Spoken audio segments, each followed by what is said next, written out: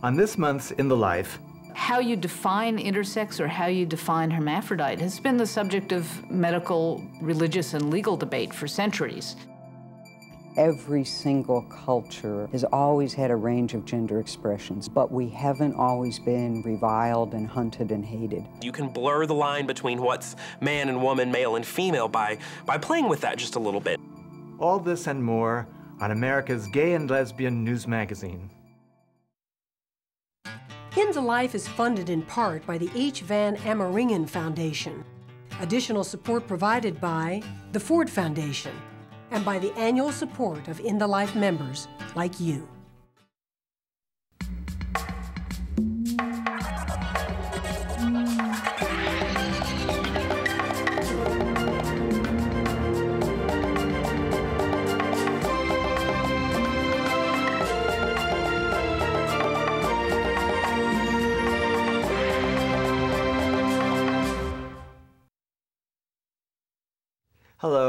I'm Charles Busch. In this episode, we're going into our archives to explore the diverse and colorful spectrum of gender. We're not always aware of it, but gender programming is deeply ingrained in all of us.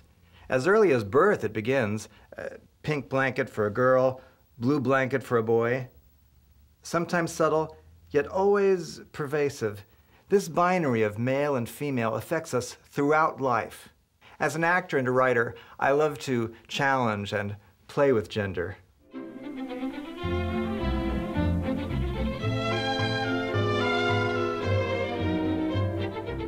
Oh dear, does that make me a lesbian? Gender identity and expression can take many forms. Throughout time and in just about every culture, people have challenged and defied that most basic notion of boy and girl. Over the past decade, the transgender and intersex movements have gained momentum and consideration. Almost 200 major corporations across the country now ban workplace discrimination based on gender identity and expression. Ten years ago, there were none. Tonight's stories will explore this constantly evolving discussion around sexuality and gender. I went to the library, and in it, there's this, I think a lot of people would say, a taboo section um, where all the books on gay and lesbian issues were kept. And I went to that section hoping to find something that might explain my identity and might explain the feelings that I, that I was um, struggling to um, come to terms with. And I came across this book. And it was written by a trans woman and it was fairly old. It was probably from the 70s or 80s, and it was um, under the Fairly New books. And it was the only book on transgender issues. So I took it home, and I can remember very vividly that day I was, I was mesmerized by it. It was about 200, 300 pages long, and I read the book in a day. Mothers always find things that you wanna that you wanna hide or keep um, secret from them. And she found the book under my dresser. And mind you, I was still at church. I was coming outside actually to take a to take a breath of fresh air because it was so hot inside. And I have never in my life seen my mother drive so fast into the anywhere. And here she was like a like a witch on a, on a broomstick, just running out there in her car down to the church driveway. And she stopped the car right in front of me and said, Get in. She looked at me as she was driving 15 miles per hour down the road and said, You have to get rid of the book. And at that moment, I realized that now isn't the right time to talk about these issues, and maybe I should hold off.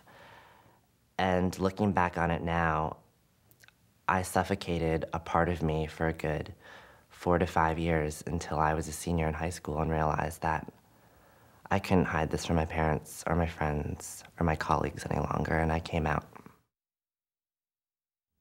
What was previously referred to as hermaphrodite the term intersex is now used to describe a condition in which a person is born with a reproductive or sexual anatomy that doesn't fit the typical definitions of female or male.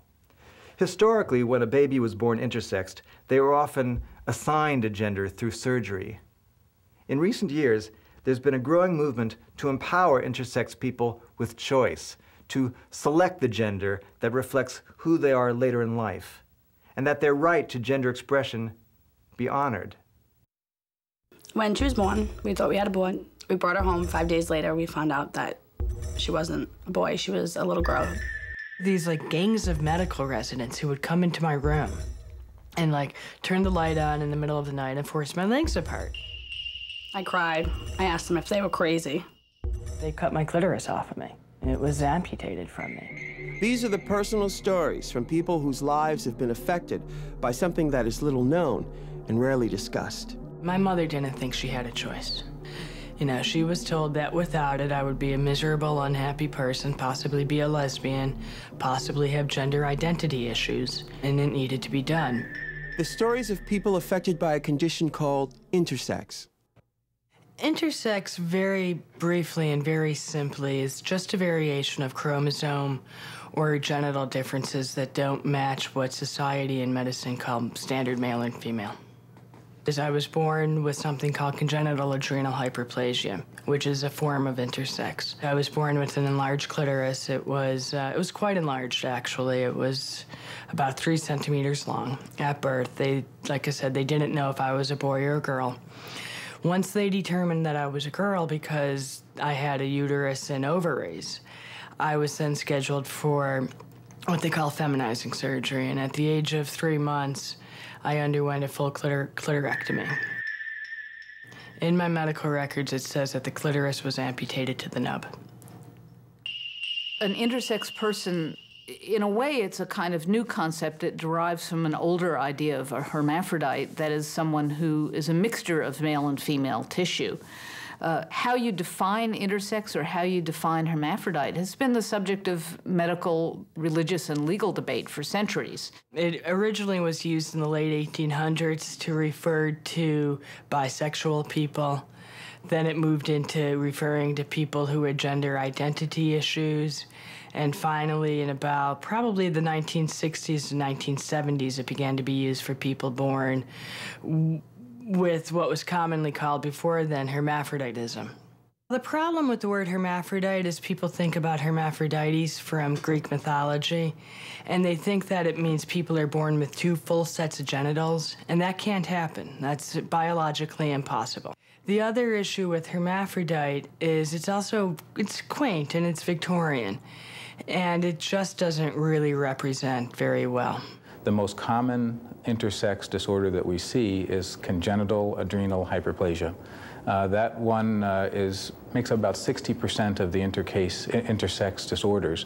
And uh, they occur worldwide about 1 in 15,000 births. In the United States, it's probably closer to 1 in 30,000. So if you're looking for an absolute number, it's hard to give a specific number, but probably somewhere in the range of 150 to 300 cases in the United States a year of intersex disorders. There are some types of intersex conditions that are not obvious at birth. So, and may not get discovered until puberty. So when you start to include all of those numbers in there, it could be as high as 1 in 500. And I have actually seen some numbers by some experts who I respect who will say it's even as high as 1 in 250. Traditionally, the medical community referred to intersex people as a social emergency rushing babies born with ambiguous genitalia into surgery to fix the child. The idea of doing surgery on children, infants who are born intersex, uh, began to develop in the 1940s as it also became technologically possible, which it wasn't earlier. In the 1950s, it was inconceivable that a mother could bond well to an XX child who had a very enlarged clitoris, one so large that it actually looked like a penis. The argument was that this was a mental health crisis uh, for the parent and therefore for the infant. The parents this, the parents are scared, the parents are traumatized. What will the parents tell their friends and neighbors? It's all about the parents, and the child gets forgotten about. So we're fixing the child, we're changing the child, we're surgically altering the child to make the parents happy. And there's something wrong with that equation. It was a belief that uh, they would be better off if um, we could identify a different, a specific male or female role. And this included even uh, trying to keep the information from the patient as they got older. Um, and this really was prevalent for almost 20 years. And often, doctors would assign a sex to the child based solely on the size of their genitalia. You know, there's actual measurements at birth, you know, that a, that a penis must be a certain size at birth, stretched, to qualify to be a healthily, a normally developed penis, and that's about two and a half centimeters. It's the same thing for a clitoris. If a clitoris is larger than about 0.9 centimeters at birth, medically, on the most basic term, is considered to fall outside of standard female. They will do periodically sex reassignment surgeries on boys born with something called micropenis. And they presume that the child will be happier as a girl rather than being a male with a small penis. You know, our society places a lot of value on the size of a man's penis, which is very, very sad. As intersex people mature, their lives can be filled with secrecy, shame, and unanswered questions. What makes us male or female? Is it our genitals? Is it our chromosomes? Is it our gender identity? Is it the way you perceive our, my gender identity? Who's to say? As Betsy searches for answers, she now runs an online support group called Bodies Like Ours. And it's her outreach that has made differences in people's lives. People like Lisa, my daughter, Samantha, she has a biguous genitalia um, due to congenital adrenal hyperplasia, which is a disease that she was born with. Um, when she was born, we thought we had a boy. We brought her home. Five days later, we found out that she wasn't a boy, she was a girl. Lisa's doctor advised her against early surgery, as is the emerging medical trend. And of course, at that time, I was, oh, you're crazy. I'm having surgery. There's no way around it. You know, I wanted um, my daughter to have the best life that she could possibly have. And at that time, because I wasn't educated enough, I thought that that was why, the only way she could have a good life. Right after birth, um, the clitoris uh, may actually be more engorged than it will be in three months. So, you know, clearly waiting several months to see exactly what the actual clitoral size will be is probably important to do. Um, and it may not be as big an issue as it appears in that newborn period. I was lucky enough to have God tell me, hey, wait a minute, you better slow down and take a good look. Because, you know, she, I would have made the wrong decision if I didn't see a program like this. I mean, people don't know. They don't, they, they don't know. At least some of the parents I've encountered who refused to have surgery on their infants did it for religious reasons. They basically said, God gave me a baby that looked like this, and who am I to argue with God about it? So, and um, so you don't have to be sort of liberal about sex and sexuality necessarily to say, go slow on surgery. The intersex movement is only about 10 years old. I mean, we are still pre Stonewall in our activism and in our awareness as to where we're going with this. But because there's a lot of marginalization within the queer movement, the LGBT movement, there is that marginalization, there is that shame. We have looked at them and as that model to help us through this. You know, somebody who has only experienced the stigmatization of being homosexual, homosexual in this society that seems to hate us so much can understand what it's like to have your body physically changed for the same reason. My child has undergone four genital surgeries to try to make her genitals look cosmetically female. As a mother, I wanted my daughter to look normal, to fit right in.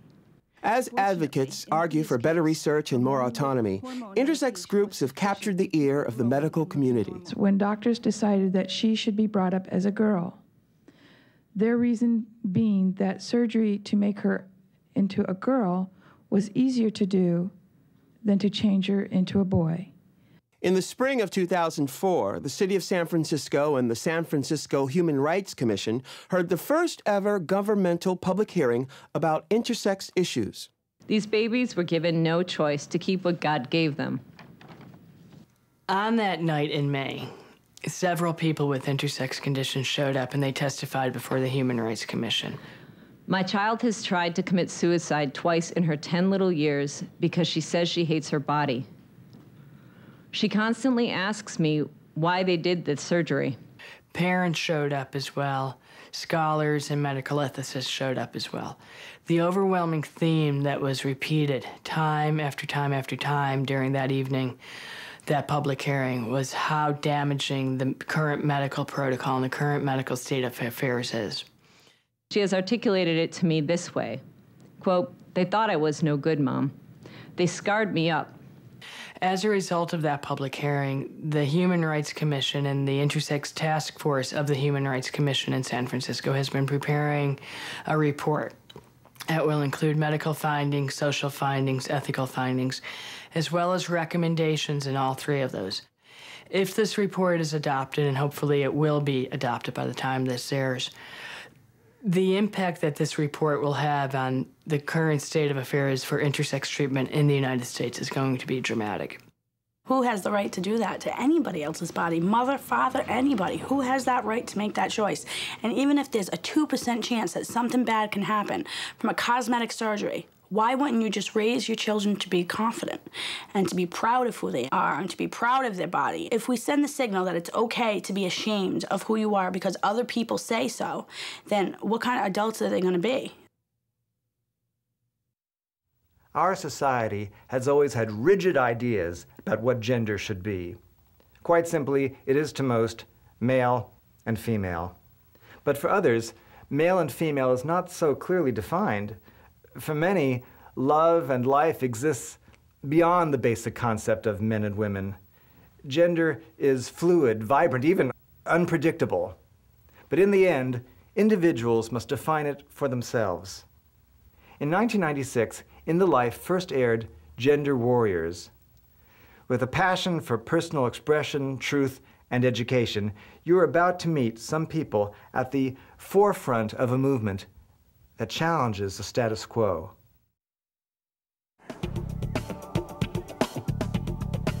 What transgender means to me is that you're a person that feels in your spirit, your mind, and your soul different than your physical anatomy, your biological anatomy. Whether that be uh, transsexual women and men, or masculine women and feminine men, or bearded women who allow their beards to grow, or women weightlifters who can't use the women's bathroom because they've been pumping iron. Uh, it can mean everyone who doesn't fit that Ozzie and Harriet paradigm of sex and gender. Transgender is just a big old umbrella term that includes just about everyone I know. Kate Bornstein and Leslie Feinberg have been explaining the term transgender for years, both as public speakers and as authors. I would say that Transgender Warriors is the book that I've had to write my entire life because every time someone said to me, I just don't get what you are, you know, well, maybe people don't have a right to beat you up or fire you or not hire you in the first place, but it's just not natural.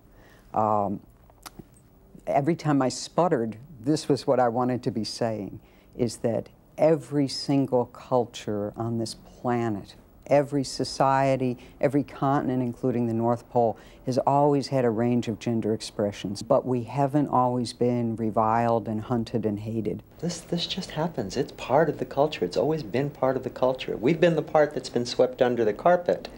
And now we're mm-hmm. coming out and we're saying, no more. Don't push me, Mary. I am not in the mood. It was at the Stonewall Rebellion, gay liberation shot heard round the world, where people who would today be considered transgender fought on the front lines. These are uh, currents of our community who have been visible, who had no closets to be in before there was a movement. But while Stonewall is remembered as the turning point for gay liberation, the shot heard round the world for the transgender community was the murder of Brandon Teena. Brandon Teena um, chose to was was born Teena Brandon and chose to live as a man in a small town in Nebraska. After a minor infraction with the police, they printed Brandon's birth sex in the town paper. Soon after, he was kidnapped, raped, and later murdered. People don't know the violence is going on, and they don't know the toll that it takes in shaping our lives. Every time someone shouts a slur at us, throws a beer can out the window, glares in anger and nudges their friends, that you live with the tension of knowing how quickly it can escalate into a life-threatening situation. What people are beat up for is for being genderqueer. They notice a boy who's acting too Nelly, who could be straight, transgendered, or gay. They notice a woman who's acting too butch. They notice a trans person, they can't figure out what the hell they are. That's where the assault comes. Riki Anne Wilchins has been protesting transgender violence for years.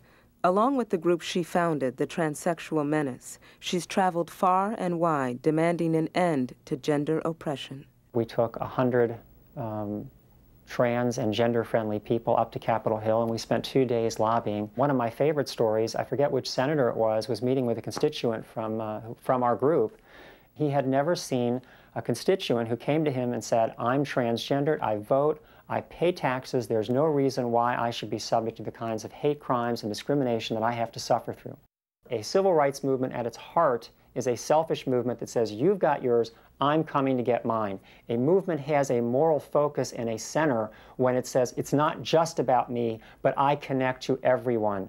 No one could agree with that statement more than Martine Rothblatt. To me, the civil rights movement, the feminist movement, the gay and lesbian and transgender movements all really are one and the same. These are all movements to respect people as individuals rather than as a body type that their um, genes determine for them. Martine Rothblatt has in her life crossed many borders. Martine was formerly Martin, a Jewish man married to an African American woman with four kids. The only thing that has changed in this picture is Martin's gender. Bina, my, my spouse, when I talked to her about transitioning, I said sometimes that, um, you know, would you still love me if I did transition and, and live as a woman? And, and she always said, Martine, I love your soul. It doesn't matter to me, um, you know, what gender identity you wrap that soul in. Before transitioning, Martine did a lot of research on how changing genders might affect their children compiling it later into this book, The Apartheid of Sex. I couldn't find a shred of evidence that um, transitioning one's gender was um, bad for their kids in any way. And in fact, what happened is I found myself um, harkening back to research I had done in college about the effect on children of interracial marriages. And people found that those kids grew up like great, brilliant, creative, beautiful, no problem. At my house, really, we do a lot of things that normal families do, but we do like a couple other things just to keep us closer. And every Friday, as well as, well as celebrating the Sabbath, we have a um, tradition that we sing a song and, and share what love means to us, and we just call the ceremony Love Night. I think when people say you can't change your gender, that's like somebody saying you can't change your religion, you can't change your country. I've talked to people who say, wow, I've grown up in this small town and I would just never move out of a small town. Well, that's cool for them. And, but there are other people who are just from birth or they develop a spark in themselves that they have to travel a journey in their life. And changing your gender is no more different, I think, than changing your religion or changing your country. It's like you're an immigrant, okay? You're a convert, you're a social explorer.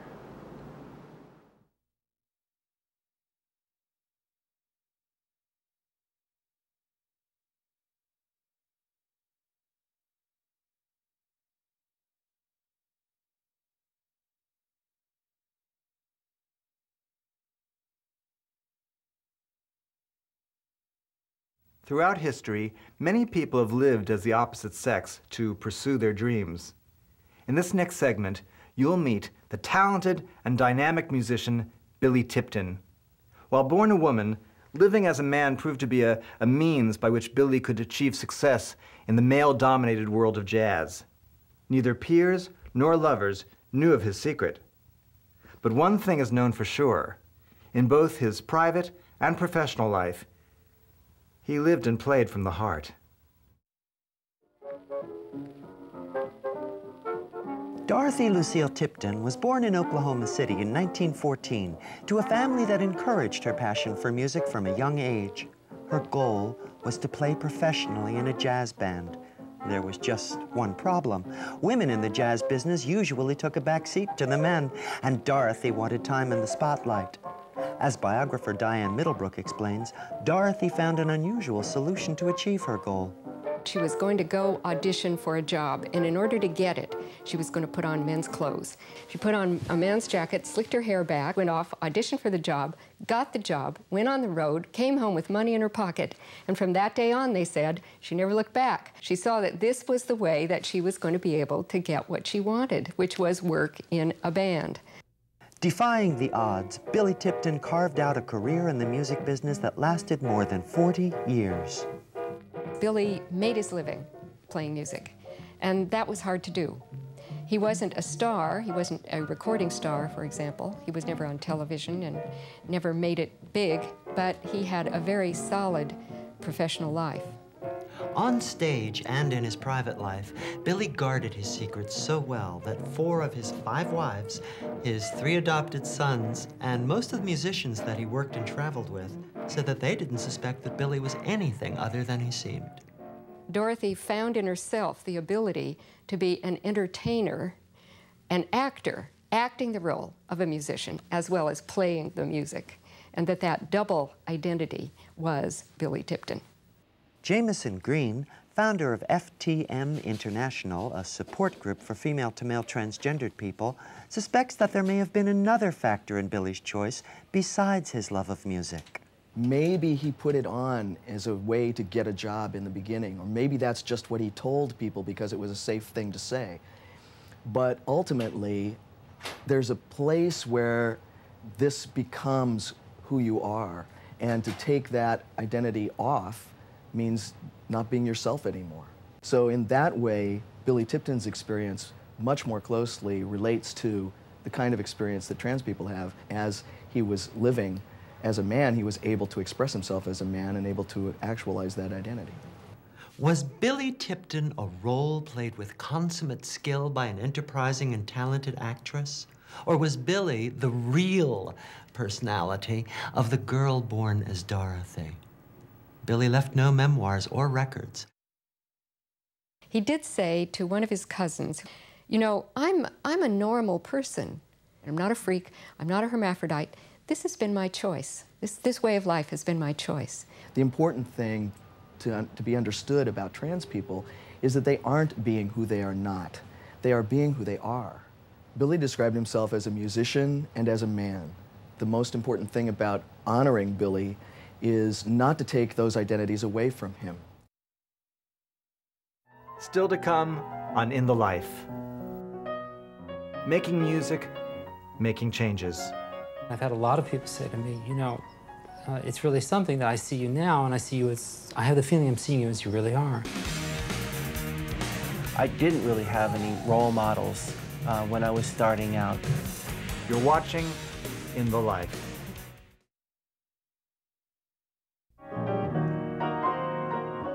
As a child, David Buechner was a musical prodigy, impressing his music teacher with his ability to sight read music at the age of four. He went on to study at Juilliard at the age of 17 and began entering and winning competitions after graduation. His skills as a performer were in great demand, and he also enjoyed success as a professor at the Manhattan School of Music and New York University. But no matter how much he achieved, David felt like there was something missing from his life. I was playing a role. You know, I was playing the role of David Buechner very, very well, but it was, I felt increasingly so empty inside. That was not me. And um, the fact that I played it well brought no comfort to me. At a certain point, I just basically decided I could not be two people anymore. That's what it felt like. I mean, it, it was just like being a schizophrenic, and it was, it was horrible. It's really horrible. In July of 1998, at the age of 39, David Buechner played his last performance, then hung up his tuxedo for good. Sarah Buechner made her debut in September, and along her journey has rediscovered her joy in music. And what has been the most beautiful thing, really, has been coming in here to teach in a classroom with students who have come up to me in the halls. Um, one person said, you know, you're my role model. I never would have expected this in a million years. Okay, this is all transition to the second theme. Professionally, I assumed, in a cynical sense, that concerts would would come. Would, would, would uh, I didn't expect it would explode, but I thought that somebody would say, "Hey, that's going to sell tickets. Let's let's let's hire her." And instead, quite the opposite. It seems to have been totally shut down.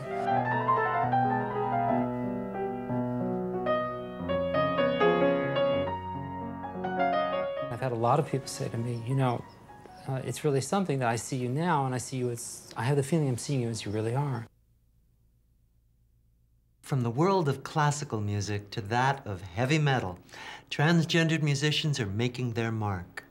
Christine Beatty is the lead singer of Glamazon, a band she co-founded in 1993.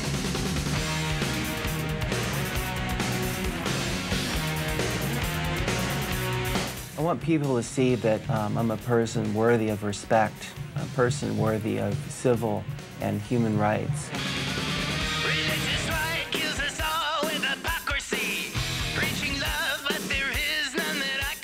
A lot of the songs that we do get into a social commentary.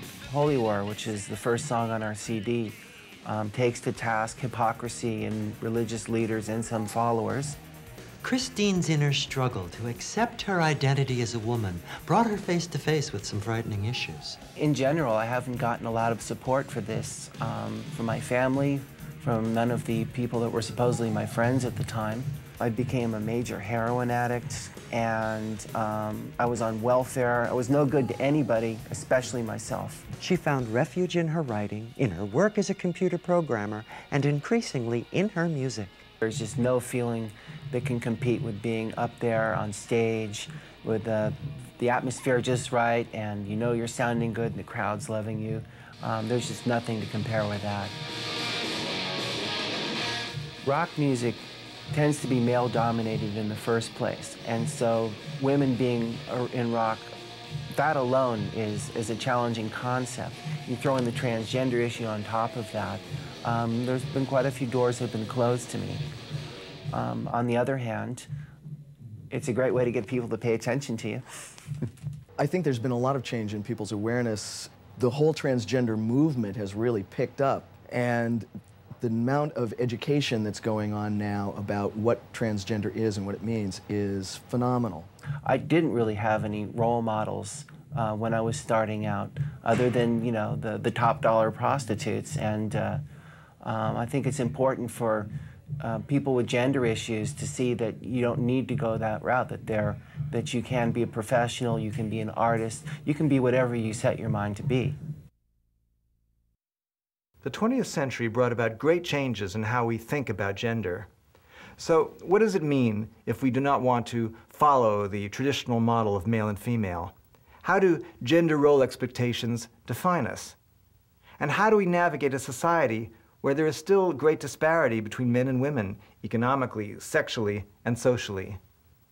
These are questions to which there are no easy answers. Our next segment from 2005 begins to explore these questions as we talk to individuals leading the discussion around the issue of what gender means to us all. Before industrialization, everyone in a whole family worked together. What industrialism did is it pulled men out of their houses to factories or to other kind of workplaces and left women at home, but that's only the theory. They were doing industrial work at home for wages while they were supposedly taking care of their homes and kids.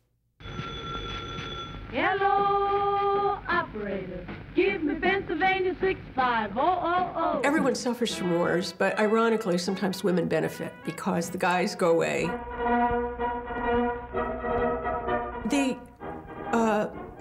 Somewhat hidden truth about the World War II jobs is that they were very hard, they were really dirty, there were a lot of industrial accidents, and women loved them. The government played a very active role in managing the labor force. Uh, starting in around 1940, they were propagandizing all over the place about how women could work and still be, quote, feminine, could be good wives. After the war, they reversed it and they started a, a large propaganda campaign about how mothers belong at home. Gender then gets used as a club with which to beat people. The main heterosexual privilege that women have is the fact that they're attached to men who earn bigger salaries. But the relationship between gender and sexuality and the economics of both took a new turn in the second wave of the women's movement. When I came out in the mid 70s, it certainly made me question my gender suitability. Here she is. She is single and fun loving. And as the movement shaped a single identity, woman with a capital W, gay identity complicated femininity. I worried about whether I was feminine enough, knowing I was attracted to girls and being a tomboy. Uh, and that scared me enough that it kept me from coming out. It kept me from feeling good about myself for a very long time. There had always been a conservative edge of the women's movement that was extremely frightened of the homosexuality issue for fear that the women's movement would lose its respectability if it was associated with what Betty Friedan called the lavender menace. Um, I think actually that was always a, a very minority position. I think that the masses of people in the women's movement were really quite open to challenging and thinking about sex and gender in different ways. Probably the single most important message of second wave feminism was that there is such a thing as gender and it's not the same as sex. And today's activists are charging forward in this belief. I like to say that there are many genders. It's the way we as individuals are socialized and how we adapt. For some folks, it's how they get up in the morning and the clothes they pick out to the people that they desire and want to date. Anything from hormones or surgery to people thinking about, um, you know, how that impacts their sexuality. I always felt this sort of sense of like, I didn't quite know what being a woman, you know, an American woman meant. I was born here, but my my parents being immigrants were really sort of outsiders in a lot of ways. I remember there were all these rituals that these girls in my school would do around makeup and hair and shaving. And I remember feeling very awkward and uncomfortable and like I didn't know what I was doing. My mother, uh, who I think of because of her strength and her real independence, I think of her as a femme. Um, but she certainly wasn't someone who was going to teach me these things about what it meant to be a girl. I went to a college where there were a lot of white, mostly middle class dykes, and everyone had the same sort of short buzz cut and baggy pants and shirt look. I cut off all my hair, I did the whole androgyny drag thing. I was miserable, and I felt like I was in drag. You try and tell femme who is like a, a femme feminist not to be femme and feel like this is her political expression to be femme and to be lesbian and be all that she is, you know? You try, you try and tell her. You know, it's not gonna happen. There's always the suspicion that a femme isn't really queer um, because look how feminine they are, and everything feminine is not radical, right? Butch femme.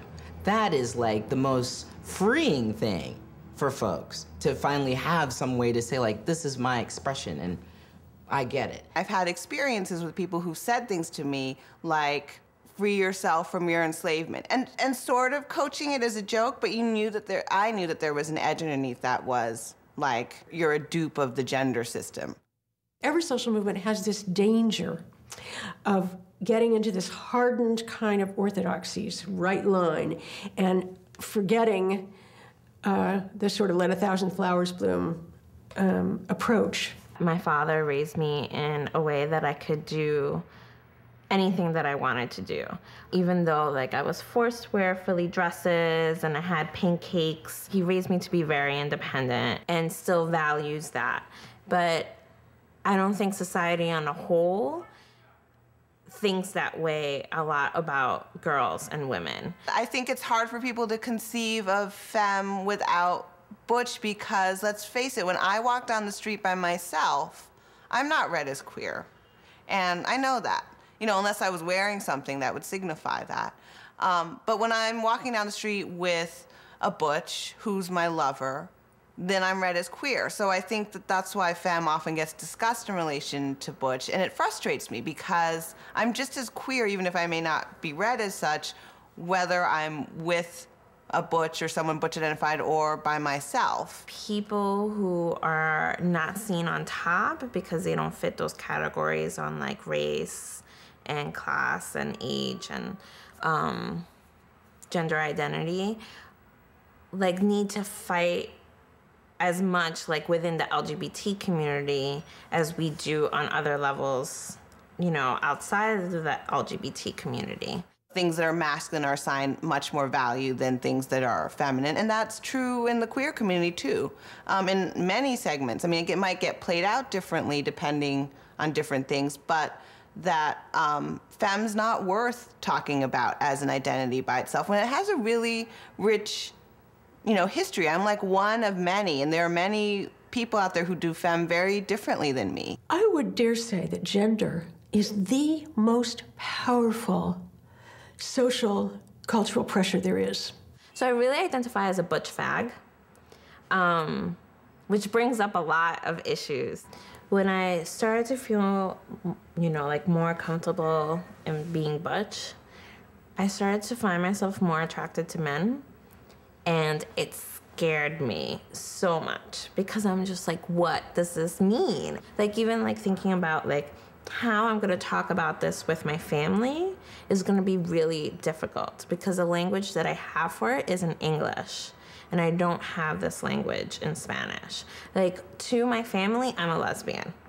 And I'm fine with being a lesbian to my family or like I'm gay, you know? Like, and that's fine because that's the only word I could come up with to like express who I am and that they understand. You know, as someone who identifies as transsexual and, you know, I, I have a very healthy respect for the binary, of the understanding of sex, male, female. At the same time, very clear that, you know, I'm not trying to use it in an oppressive way. I'm not trying to like check it off. I'm not disvaluing one sex over the other. You know, my whole show B4T is on the basis of what it was like of butchness or the androgyny of in the period of time in my life. The androgyny wasn't necessarily an identity of mine, but that's how I looked. And people spent more time trying to figure out who I was than sort of like, hi, my name is Imani. How young little children are when they know that they're either a girl or a boy. Uh, it takes much longer to learn what race you are and what class you are. It's going to be hard to break that down. It's very, very rooted. And it straitjackets everyone. Someone once recently asked me how long I've been transgendered. And I simply replied, well, all my life. Many people in the transgender community do not undergo a linear transition from one to the other. Many don't undergo a medical transition. Um, I had an entirely non medical transition. Gender has been medicalized, but I don't believe that I have a gender identity disorder. I think it's society that has a gender identity disorder. In the 19th century, or you know, the first half of the 20th century, no one would have understood. People are not born destined to live out a certain kind of life in the social division of labor. The same way that I don't say, oh, lesbian and gay men somehow created transphobia. You know, I don't think, I don't look at white people as creating racism. I look at it as systematic. And in fact, it belittles racism when it's some individual thing. No, this is a system. This is a, a case in which I think that the gender and the racial meanings are organized into a really universal kind of class domination meaning that boy or girl are always uh, what you call the people who you are dominating uh, in class terms. Part of what true gender, uh, gender liberation looks like is the ability to be free from the expectation of a fixed gender identity. We need to be respectful and we need to be um, inclusive, uh, all the various forms of expression in our community, because this is how we're oppressed in greater society. On campuses across the country, students have always pushed the boundaries of tradition. Our next story takes us to Vanderbilt University, where you'll meet Everett Moran.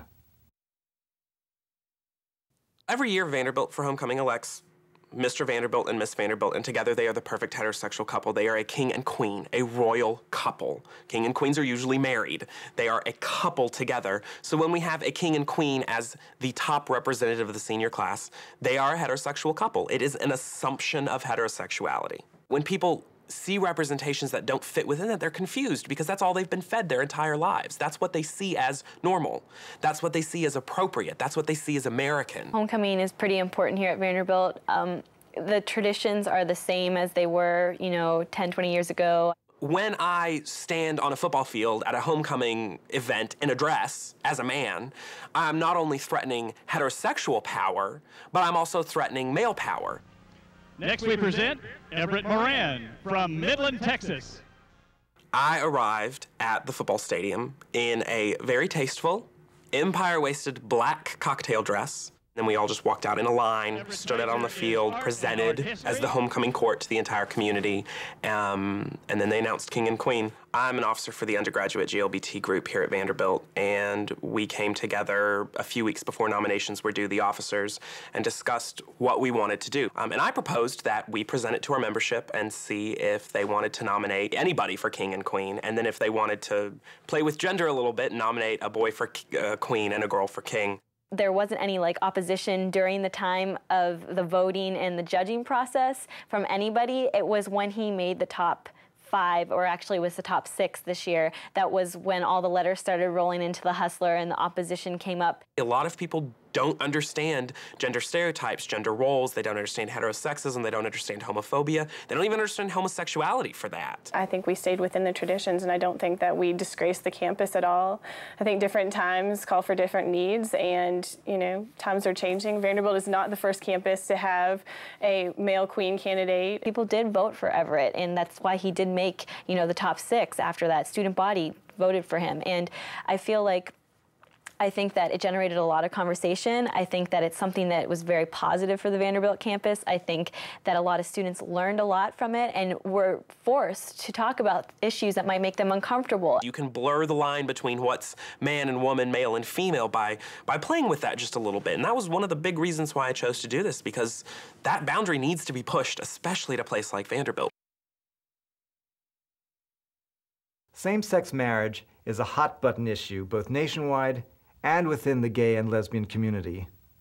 How is it that Betty married Helen six years ago? Tonight, we hear from this couple and learn about their remarkable relationship. I had a very shallow understanding of what I was dealing with in the beginning. I thought it was about sex and I thought it was about, you know, costume.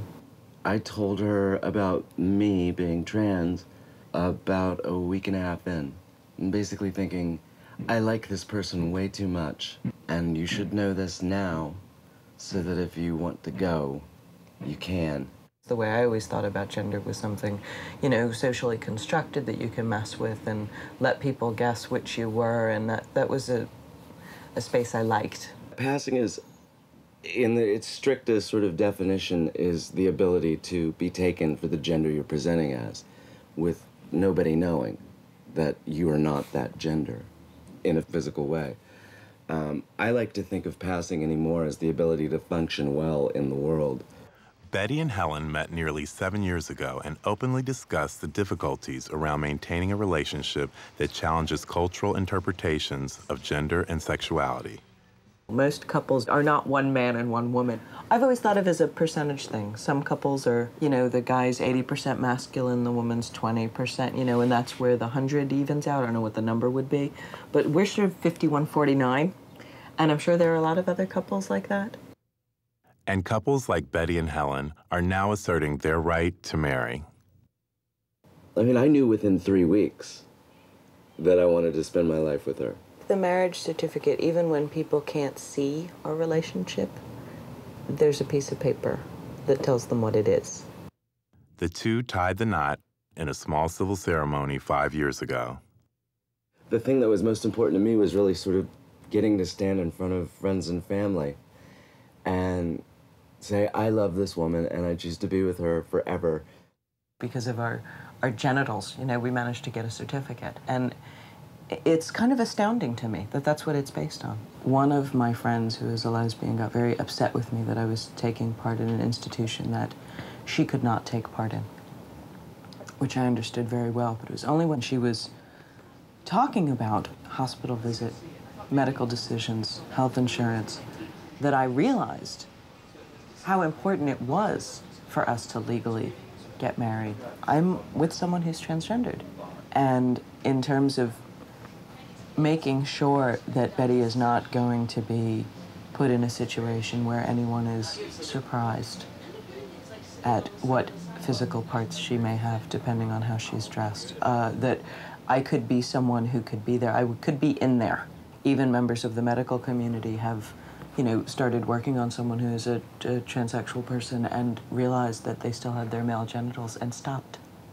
Stopped doing the medical treatment and, and basically let the person die instead. Reflecting Helen's concerns, court cases like Christie Littleton's in Texas illustrate the need for couples to have legal rights in the event of a tragedy. Littleton's husband Jonathan died in what she believed was malpractice. The physician's response was, You're transsexual, so you weren't married at all. You do not have standing to be suing me. Rather incredibly, both the trial court and the Texas Court of Appeal affirmed the doctor's position and said, That's right. Even though the state of Texas has recognized you as a woman, even though you obtained a marriage license, you were not legally married. While this gender discrimination invalidated Littleton's marriage, it's exactly what enabled Helen and Betty to legally wed. We've got all the sort of legal protections and whatnot that you get when one man marries one woman. And sometimes I, honestly, God, sometimes I actually feel slightly guilty about it because I don't identify um, as anything to do with this sort of one man, one woman anti gay organizations make really lurid predictions about what's going to happen after lesbian and gay people win the right to marry, that what will be next is transgender people. That's a really uninformed position since the opposite is actually the case right now. Most transgender people are already able to marry. Why can't there be two people who are feminine in a relationship? It's like we take the whole opposites attract thing to a point of making it you know, cement. It's a cement wall. We are a queer couple with heterosexual privilege, and dealing with that is one of the most oddly stressful things ever. Heterosexual is is um, who you screw. Straight is a is a is a mindset. Straight is straight has more is is about more things than sex. It's political. It's political. It's proper. It's can be it can be a lot of different things, but it's always kind of based in this sense of being normal. You know, I'm normal. I'm straight. I'm normal. Well, people look at me and they're never going to assume that. And I don't want to be normal. It just sounds boring. Dealing with normal, especially when it comes to marriage and gender, is is impossible. You can't have an equal partnership. Well, it's only getting outside of you know, the traditional heterosexual relationship that we've found love and mutual support.